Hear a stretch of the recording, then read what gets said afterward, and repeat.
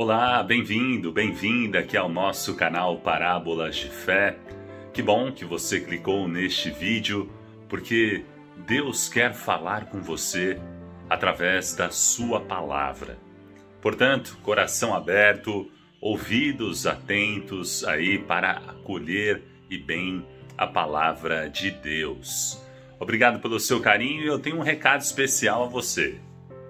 Eu te convido a curtir este vídeo, clicar no joinha, deixar o seu comentário, o seu amém e aproveite também e se inscreva aqui no nosso canal. Clique em inscrever-se, depois clique no sininho e em todas. Obrigado pela sua inscrição, pela sua interação aqui conosco. E vamos agora ouvir o salmo de hoje e também a primeira leitura. A primeira leitura é a leitura da carta de São Paulo aos Efésios, capítulo 2, versículos de 19 a 22.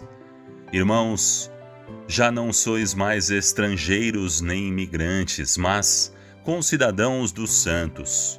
Sois da família de Deus Vós fostes integrados no edifício que tem como fundamento os apóstolos e os profetas, e o próprio Jesus Cristo como pedra principal. É nele que toda a construção se ajusta e se eleva para formar um templo santo no Senhor. E vós também sois integrados nesta construção para vos tornardes morada de Deus pelo Espírito. Palavra do Senhor, graças a Deus. O salmo de hoje é o Salmo 116. Ide por todo o mundo, a todos pregai o Evangelho. Cantai louvores ao Senhor, todas as gentes, povos todos, festejai-o. Ide por todo o mundo, a todos pregai o Evangelho. Pois comprovado é seu amor para conosco, para sempre ele é fiel.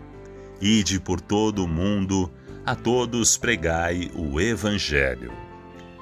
Muito obrigado pela sua companhia, por estar aqui conosco no canal Parábolas de Fé.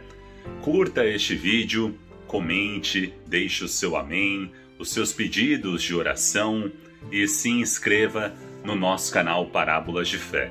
Aqui na tela vai aparecer o logo do canal, ou melhor, já está aparecendo, né, o logo do canal para você clicar, se inscrever e também eu deixo aqui no vídeo, aqui também na tela, uma outra sugestão, um outro conteúdo do canal para você acompanhar. Deus abençoe!